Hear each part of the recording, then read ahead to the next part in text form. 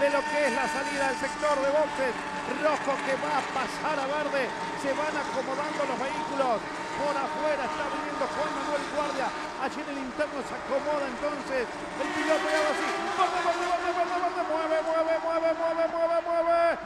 Tomaselo, Juliano. Tomaselo. Juan José J.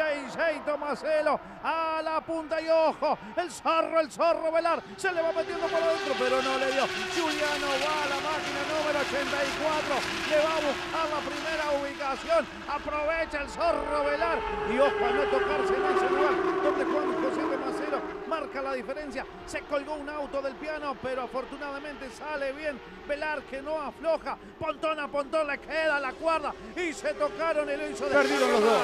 Lo hizo desparramar entonces a Cristian Juliano. Y primero Tomaselo, segundo.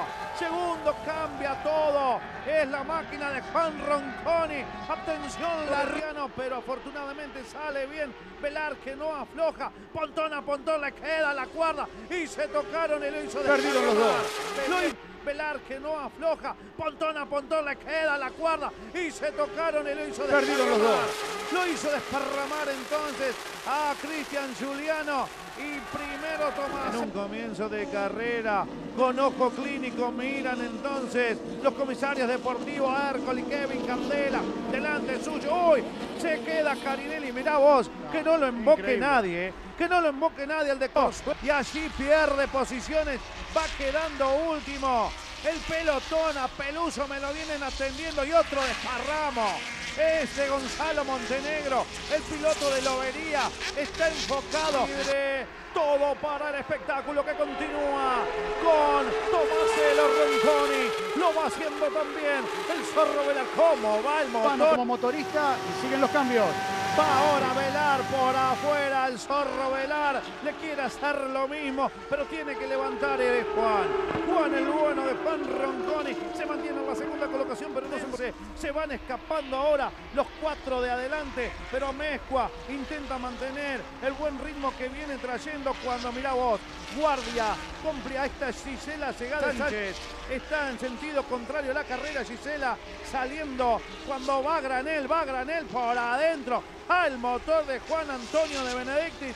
Se hace notar por derecho con el de Castellano. Avanza entonces el de la Prida. De aguantarlo a Pernía, Pernía que va por afuera. La carrera está bárbara, Sergio. Le tengo una fea pernilla. Realmente cómo está manejando, esta es la difícil. ¿eh? Hay un momento, hay un momento de definición. Va, va, va, va. Y sin embargo no, Ah, tiene que levantar. Ese es el lugar de no retorno. O si seguías por afuera, venías complicado. Él prefirió guardarse para seguir peleando la 31 carreras. Estamos hablando de dos temporadas y un poquito más de ventaja en favor de Tomaselo en cuanto a experiencia en la lucha por el primer lugar. Ahí está Leonel Pernilla que mira como sintiendo, sí, va por afuera, lo pasó por afuera Pernilla, Pernilla y así lo disfruta. lo- 26.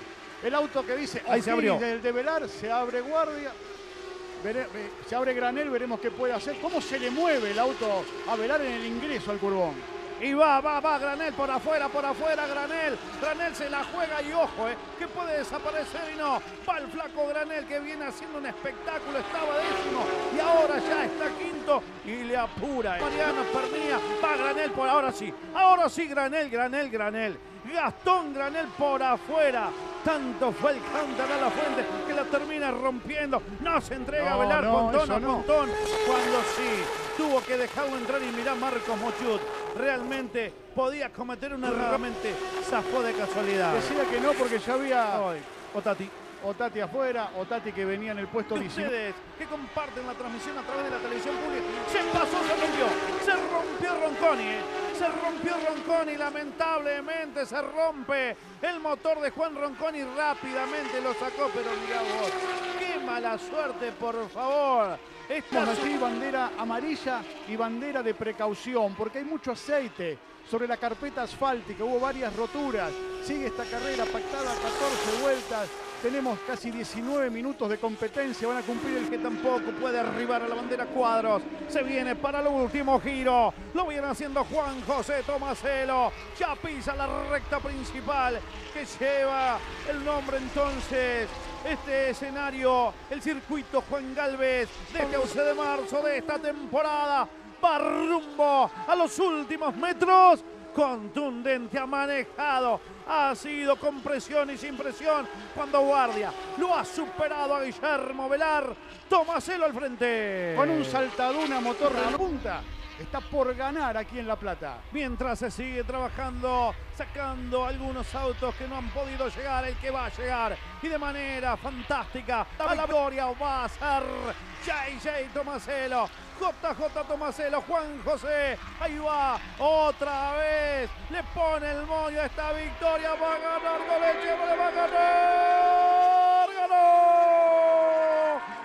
Juan José Tomaselo, segundo termina, y ha sido bueno lo del debutante Marcos Muchiud, que termina en la sexta colocación, pero la victoria la tiene en el bolsillo, ya la disfruta y va a buscar seguramente el abrazo con su gente.